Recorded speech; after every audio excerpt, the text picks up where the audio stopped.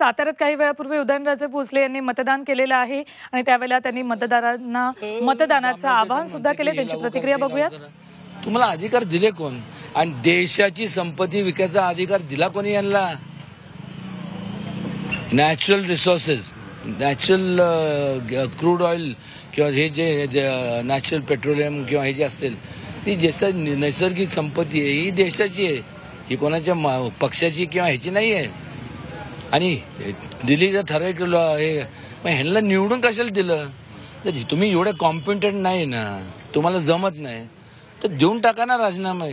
आहे ना बाकीचे काय बाकीचे काय हे तुम्ही दिशाभूल केली आणि आश्वासन दिले म्हणून लोकांनी तुम्हाला मतदान केलं. धन्यवाद. धन्यवाद उदयनराजे तुम्ही सविस्तर आमच्याशी बोललात.